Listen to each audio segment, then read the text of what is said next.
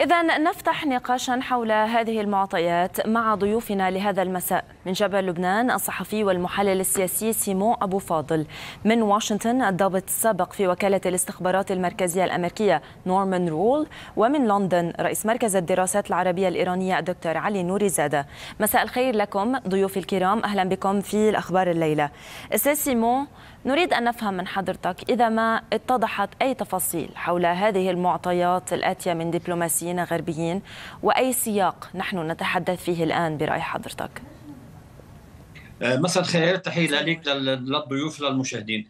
يعني في في معطيات عند عند جهات غربيه دبلوماسيه بلبنان بتقول جزء من من دعوة إلى مغادرة الرعاية ليس فقط احتمال اندلاع الحرب إنما احتمال اللجوء فريق الممنع يعني أزرع إيران أو مجموعة منظمات على الساحة اللبنانية تابعة لإيران إلى اعتماد عمليات خطف لمواطنين أجانب ولا سيما اللي هن من دول المشاركة في التحالف الذي سيدع مثلا هذا إيران أو يعني ينتشر في المتوسط.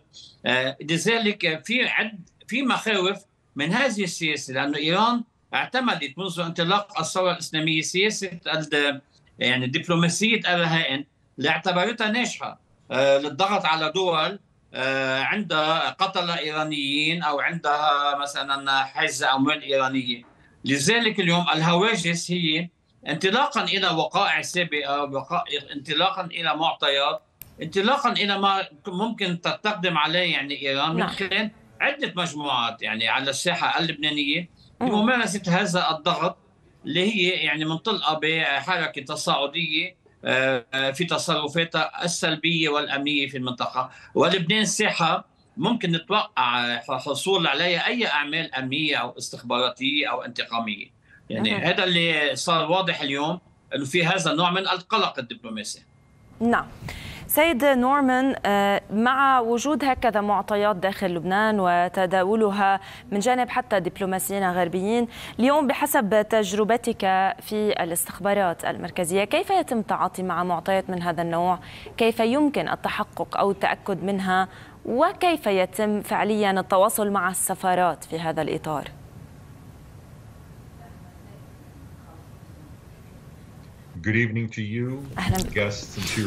مساء الخير لك ولضيوفك وللمشاهدين. إيران ووكلاؤها جعلوا خطف الرهائن ركيزة من السياسة التي تنتهجها إيران منذ عام 1979 أصبحت هذه مشكلة مستمرة في العراق ولبنان وإيران نفسها. السفارات لديها قدرات محدودة فهي تنشر بيانات للرعاية لتحلي بالحيطة والحذر في أوقات التوتر أو مغادرة البلد. وطبعا هناك من يبقى في البلد لاعتبارات أسرية أو مهنية. وهؤلاء يصبحون فرصة لإيران وذرعها وهذه الأعمال أحيانا يمكن أن تتسبب بصراعات مروعة. رأينا اختطاف حزب الله للجنود الإسرائيليين في عام 2006 وهذا أدى إلى مقتل 1200 لبناني و195 إسرائيلي. إذا الاختطاف الرهائن هو عمل يمكن أن يؤدي إلى مآسي مروعة للشعب اللبناني. دكتور علي يعني من ناحية إيران قامت بهذا النوع من الخطف وحتى كذلك أذرع إيران بعد 79 وبوقتها كذلك حصلت على مكاسب من هذا الموضوع. لم يكن هناك عواقب إنما مكاسب في بعض في كثير من الأحيان. لماذا تلجأ إيران إلى هذا الأسلوب بأوقات معينة؟ يعني هل يمكن فهم تاريخيا ما الذي أدى للوصول إلى نتيجة خطف رعايا أجانب؟ وأيضا كيف استفادت إيران منه؟ تحياتي سيدتي ولضيوفكما والحدث ومشاهدي الحدث. لقد تفضلت في خطابك وقلت إيران حصلت على مكافآت قامت بخطف الناس الأبرياء مسؤولين وردا على أملها الإجرامي. قامت الولايات المتحدة بتقديم أموال أو بالإفراج عن أرصدتها المحجوزة وامتيازات أخرى. مع الأسف ودائما هذا القصة المأساوية تتكرر. انظروا إلى ما حصل. إيران خطفت أكثر من 100 شخص في لبنان لقاء الإفراج عن كل منهم حصلت على امتياز. إيران خطفت مواطنين إيرانيين في بيروت والعراق. تم بإعدام روح الله زم خطفوه من العراق. محمد خاتمي الآن بالسجن. هو من قادة المؤسسين للحرس.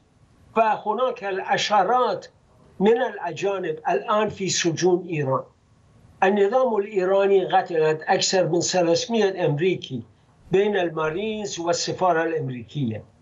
وإيران قتلت العشرات من الأجانب في لبنان وغير لبنان. ورغم ذلك دائما ابتسامة ها إصلاحيون جاءوا يجب أن نتعامل معهم بإيجاب. ولكن إن كان هناك ردا على أمل النظام الإجرامي في بداية بعد خ... بعد احتجاز الدبلوماسيين الأمريكيين لما كنا اليوم نتحدث عن تكرار قصة الخطف. نعم هناك وحدة 420 بفيلق القدس وحدة 800 بفيلق القدس.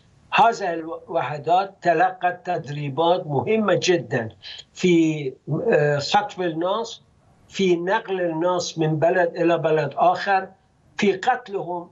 يعني هم مجموعة من القتلة يعرفون كيف يقومون بخطف الأفراد. والآن تركيز على الأمريكيين على الإسرائيليين وعلى بعض مواطنين العرب في دول التي تعتبرها إيران عدوا طيب آه، أستاذ سيمون يعني اليوم بظل أنه الأصابع الاتهام كلها تذهب مباشرة بهذا الملف إلى إيران وإلى أذرعها بالمنطقة وخاصة بموضوع لبنان لأنه رأينا ما رأيناه بين عام 82 وعام 92 من جانب حزب الله.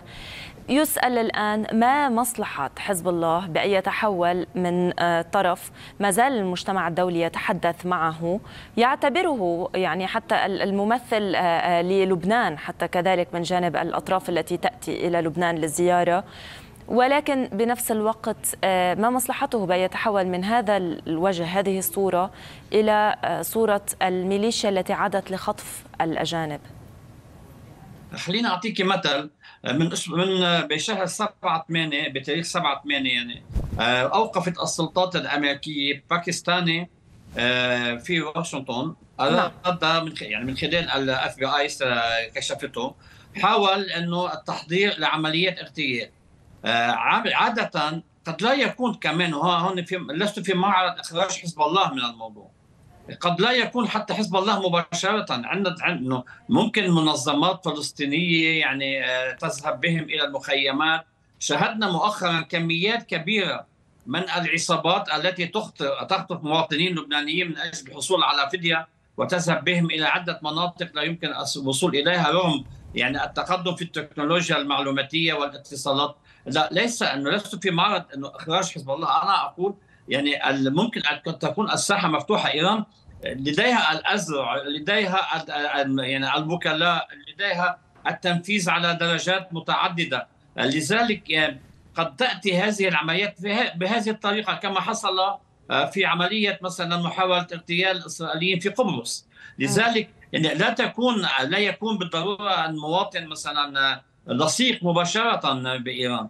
إنما آه، تكون الرسالة واضحة بأن هذا الموضوع ممكن يعني معالجته من خلال إيران أو من خلال يعني أنه التواصل معها.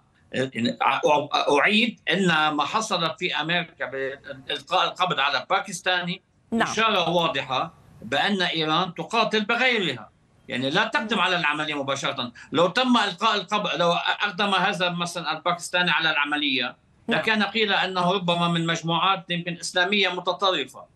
هذا هو الفن والعمل الأمني التي تجيده إيران والتي قصرت الولايات المتحدة في مواجهته وتركتها تتمدد وتت... يعني لتتمادى في هذه الأعمال. سيد نورمان أيضا السؤال اليوم استخباراتيا آه، يعني آه، عندما مثلا بدأت الميليشيات باليمن تهدد الملاحة البحرية قيل وقتها أن الولايات المتحدة من بعد توقفها عن مواجهة القاعدة باليمن آه، لم يعد لديها نفس مخزون المعلومات الاستخبارية التي كانت كالسابق. نسأل نفس الشيء عن المناطق الأخرى التي فيها نفوذ لإيران والتي يمكن أن يكون فيها حوادث اختطاف لبنان العراق وسوريا ولبنان بشكل أساسي الآن كونه تحت المجهر بهذه الفترة. هل المعلومات الاستخبارية الأمريكية كافية ويمكن فعلا أن تقوم بعمل يعني لديها القدرة على ردع أي تطور في هذا الإطار أم لا؟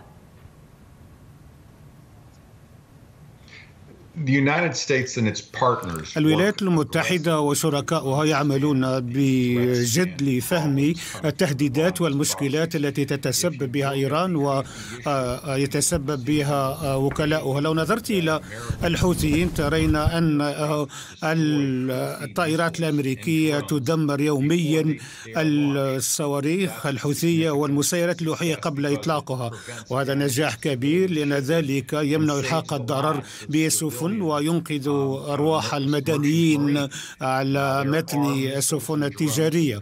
هناك صواريخ ومسيرات يطلقها الحوثيون وهذا يدل على بعض الفجوات في جمع المعلومات الاستخباراتية. والولايات المتحدة تتعامل مع جهة فاعلة أو أذرع إيران لا يكترثون بالمدنيين. لو نظرنا إلى اختطاف الرهائن فهذا طبعا يتسبب بمليارات الدولارات من الخسائر بالنسبة للبنان ويدمر السياحة اللبنانية. طبعا هذا خصم لا يكترث بشأن الاقتصاد والشعب وإنما يركز على أهدافه فقط. بالنسبة للحوثيين فقد أخروا ومنعوا وصول المساعدة الإنسانية للاجئين السودانيين وتسببوا الحق الضرر الكبير بالاقتصاد المصري من خلال إغلاق قناة السويس. وبالتالي فإن الأمر يتعلق هنا بخصم لا يكترث حيال ما يلحق بالمدنيين في بلاده أو في أي بلدان أخرى. طيب آه، دكتور علي من الناحية الثانية أيضا نسأل هنا حتى كذلك عن إيران حاليا. إيران اليوم التي آه، تقول أنه لديها رئيس إصلاحي تقول أنه هي مستعدة للحوار مع الغرب تقول أنه آه، هي مستعدة لوقف أي شيء تجاه الأمريكيين والإسرائيليين بمجرد وقف الحرب على غزة. وبالتالي هي تدافع عن القضية الفلسطينية. يعني محاولة تصوير نفسها وكأن مواقفها وسطية. وبنفس الوقت الوقت يعني تحاول تحقيق العدل. إلى أي مدى اليوم آه، هناك آه، يعني مصلحة إيرانية كذلك بالعودة إلى آه، بين عام 79 والتسعينيات؟ سيدتي أولا ما يقال عن خلافات بين أجنحة النظام. هذا قصة مضحكة وقصة مزد عليها زمن. ما خلاف السيد بزشكيان الذي يقدم نفسه إصلاحيا هو كان أكثر تشددا في موضوع انتقام من إسرائيل آه، بسبب مقتل آه، السيد حنين. يعني بيزشكيان وغيرهما جميعهم جزء من خدم الولي الفقيه. الولي الفقيه يحكم هذا البلد. ليس في العالم سلطانا شاها رئيسا رئيس وزراء بسلطة خامنئي لأن سلطة خامنئي مأخوذة من الله من إمام الزمان. ولا يمكن مجادلة أو تصدي أو تحدي هذا السلطة. وخامنئي يفلس. هو قرر تأسيس وحدات لخطف الأجانب وتم ذلك. والآن هذه الوحدات موجودة لا خلاف لا شيء. ومصلحة إيران تختلف عن مصلحة النظام.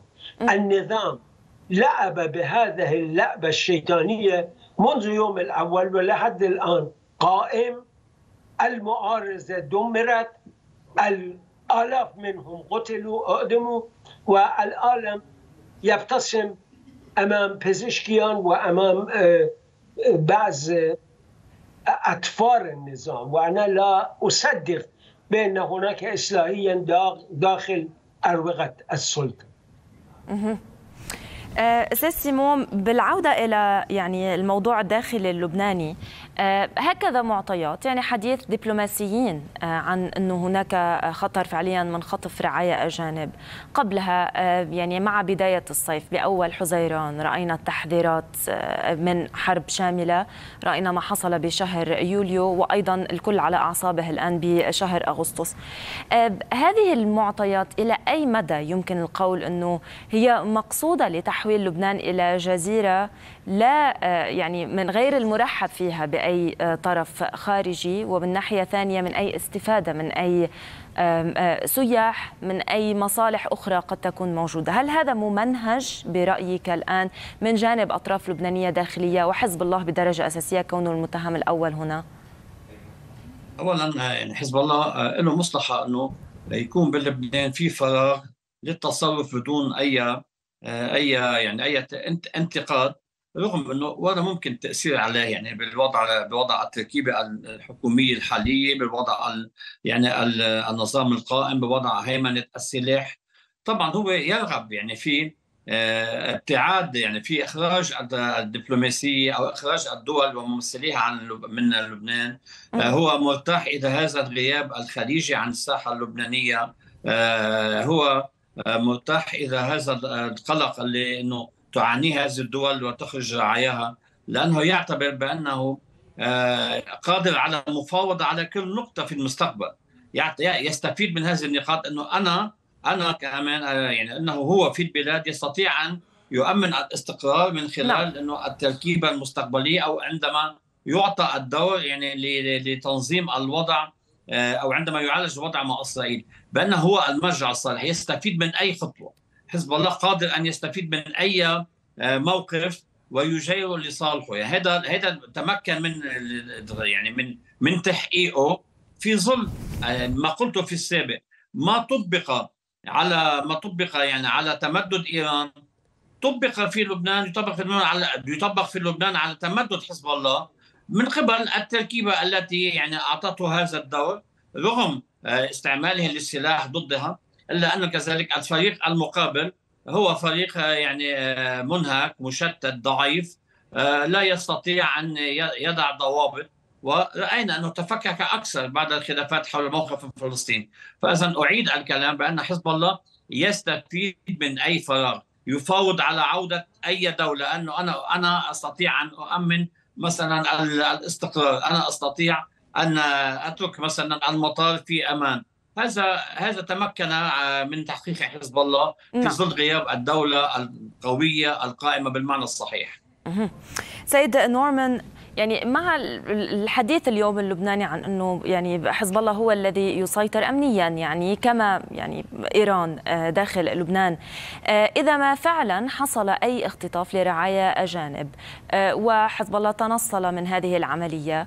ولكن يعني برزت معلومات استخبارية مثلا لدى الأمريكيين بأنه قد يكون لحزب الله يد، هل هذا يعني يجعل اليوم أمريكا قادرة على التعامل مع حزب الله مباشرة مع الطرف المسؤول امنيا أم أن موضوع الاختطاف يخضع لاعتبارات مختلفة فعليا اليوم بالنسبة للدول؟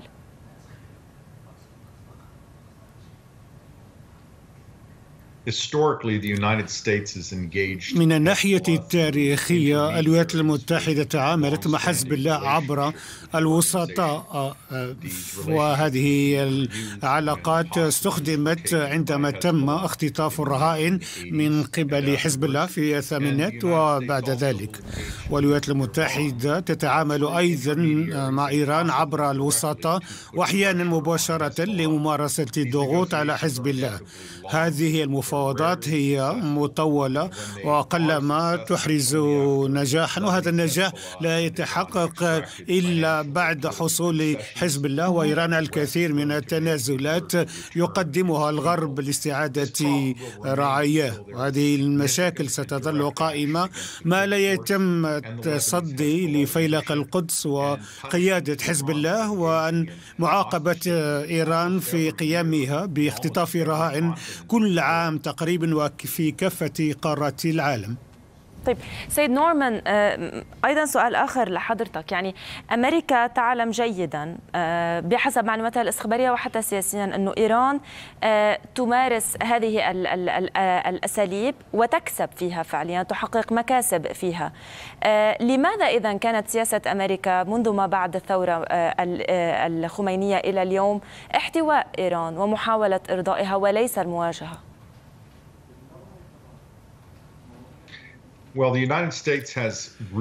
الواقع أن الولايات المتحدة الأمريكية حثت رعاياها على عدم السفر إلى إيران. والأمر يكون صعب عندما آه، يكون هناك أعداد كبيرة ترغب في السفر إلى إيران. وعندما يختطفون فإن الأسر تطالب بالإفراج عنهم آه، والأسر لم تطلب من أقاربهم عدم السفر إيران في المقام الأول. فكل إدارة أمريكية سعت للتعامل مع إيران أو التصدي لها منذ عام 1979 لكن في غياب عمل مباشر ضد فيلق القدس أدى باستمرار الأنشطة من قبل الأفرع في أفريقيا وأمريكا اللاتينية. والمجتمع الدولي يواجه هذا التهديد والرد يجب أن يكون دوليا بقيادة الولايات المتحدة وهذا ما لم يحدث حتى الآن. دكتور علي يعني من ناحية إيران فعليا كان في محاولة إشاعة أن إيران قوية إيران لديها الكثير من القدرات العسكرية أتحدث عن النظام الإيراني الآن أه، وبدأنا نرى الأمور تتطور باتجاه آخر الآن بالفترة الماضية لا سيما بعد العمليات الإسرائيلية داخل إيران أه، اليوم فعليا هل ما زال يمكن الحديث عن قوة النظام الإيراني أم ضعف مواجهة النظام الإيراني؟ سيدتي على عكس ذلك النظام الإيراني يعتبر الولايات المتحدة نمر من الورق لأنه طول ال 45 عام فعل النظام ما فعل ولم يتلقى ضربة من الولايات المتحدة. فقط بعد انتخاب الرئيس رونالد ريغان ريغان وجه تحذيرا إلى إيران وشاهدنا بعد ذلك فورا محادثات الجزائر والإفراج عن الرهان قبل دخول رونالد ريغان البيت الأبيض. هكذا النظام الإيراني خائف وقلق إن كان هناك تهديدا جديا ولكن جميع الإدارات الأمريكية جمهورية الجمهوريون السيد جورج بوش الإبن منح منح إيران امتيازات واسعة لقاء عبور طائرات الأمريكية من سماء إيران لضرب العراق وأفغانستان. ومع الأسف مصالح الولايات المتحدة الأمريكية في طيلة هذا الوقت وبعض الدول الأوروبية قائمة على أساس إبقاء النظام الإيراني. النظام قتل سبعين إيرانيا في المدن في باريس لندن روما الولايات المتحدة. لنفترس إن دوله عربيه ارتكبت هذه الجرائم ما كان مسير هذا الدول نعم. أنا اتذكر أتذكر وزيره الخارجية الأمريكية السيده كلينتون تنظر إلى ساعتها وتقول هل حسني مبارك لا يزال نعم. في في الحكم نعم. شوف يعني كيف تعاملوا مع إيران أه. أيام الشاه ومن ثم أيام الخميني وخامنئي شكرا جزيلا لك. ضيفنا من لندن رئيس مركز الدراسات العربية الإيرانية دكتور علي نوري زادة شكرا لضيفنا من واشنطن الضابط سبق في وكالة الاستخبارات المركزية الأمريكية نورمان رول. وشكرا لضيفنا من جبل لبنان. الصحفي والمحلل السياسي سيمون أبو فاضل.